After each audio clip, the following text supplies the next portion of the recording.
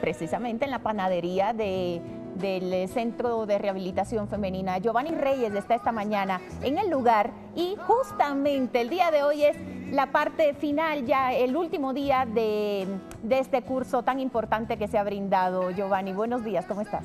Hola Kiki, buen día. Tú bien lo has dicho, nosotros ya estuvimos visitando acá las internas del Centro de Rehabilitación Femenino del Inca y ahora estoy muy orgullosamente en la clausura de su curso de panadería y pastelería. Y para eso tenemos acá al director ejecutivo encargado de Conquito, Alfonso Abdo. Alfonso, buenos días y bienvenido a la mañana junto a ti. Explícanos un poquito cuál ha sido el aporte de Conquito en este proyecto. Bueno, buenos días. El aporte de Conquito, como siempre, Conquito lo que busca es generar concertación y promover la producción en los diferentes colectivos de la ciudad. En este caso hemos tenido el apoyo de la empresa privada, hemos tenido el apoyo de Cocinas Sin Fronteras y, como no, el apoyo de justamente de, esta institución. Eh, y lo que estamos tratando de hacer es generar capacidades en algunas de las internas para que ellas a su vez luego puedan replicar en otras eh, y que juntas pues puedan generar producción, puedan generar una pequeña microempresa de panadería, repostería, vale decir que en este caso hablamos de una capacitación de alto nivel. Es decir, una meta cumplida dentro de todas las que hace Conquito. Así es. Eh, estamos muy orgullosos de poder decir que es una nueva meta cumplida, efectivamente con el colectivo que hemos mencionado. Muchas gracias. Ahora voy a hablar con el director acá, el director Washington Yaranga. Buenos días, director. Muchas gracias por dejarnos entrar acá al Centro de Rehabilitación. Usted como director, ¿cómo ha sentido esta capacitación que han tenido las internas? Bueno, como siempre he dicho, los cambios de la sociedad son responsabilidades compartidas.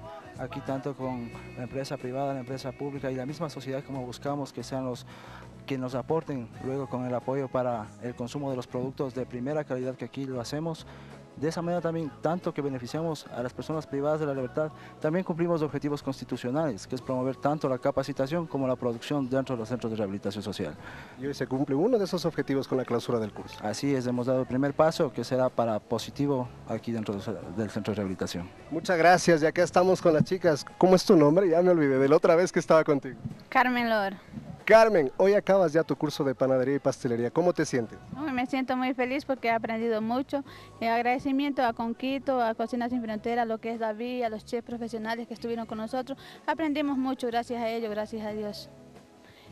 Puedes acabar este curso. Sí, podemos terminarlos y bueno, podemos hacer también lo que es pedido y cualquier información, llamarnos al señor David al 09 99 24 056. Repito, 099 92 40 56, que son donde estamos recetando los pedidos. A ver, préstame el papelito, perdón que te lo quite, perdón que me siga cruzando, ya lo voy a decir otra vez para que la gente pueda hacer. ¿Cómo estás? Yo muy bien. A ver, otra vez la mañana junto a ti en tu idioma. Saco su transado. Bueno, muchas gracias. ¿Qué tienes? ¿Son pizzas ahí de las que ustedes también hacen? Sí, sí. ¿Cómo te sientes acabando ya este curso? Bueno, esto, está bien todo. ¿Listo para emprender una microempresa? Bueno, sí. ¿También? También. Listo, venimos por acá a ver si Carlitos me acompañas.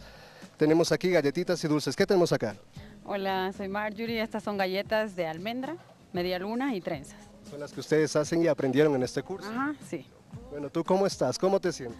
Pues feliz de haber culminado este curso, gracias a Cocina Sin Fronteras, a Conquito, en especial a David.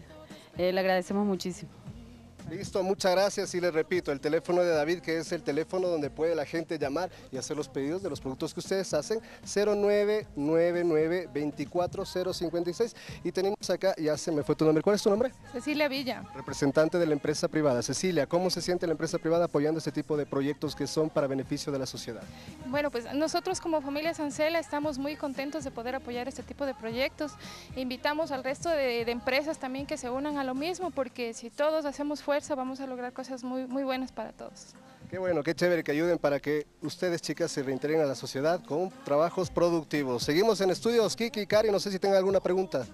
No, realmente Giovanni ha sido completísimo el informe, ya, ya dimos números telefónicos, ya aclaramos también con quién se puede comunicar y, nada, felicitar definitivamente a estas chicas que han hecho una gran labor y han decidido cambiar su estilo de vida. Felicidades a ellas, sigan adelante y ojalá toda la empresa, todo, todo tipo de empresa pueda apoyar este proyecto que sin duda va a tener muy buenos resultados. Karina, tú continúas.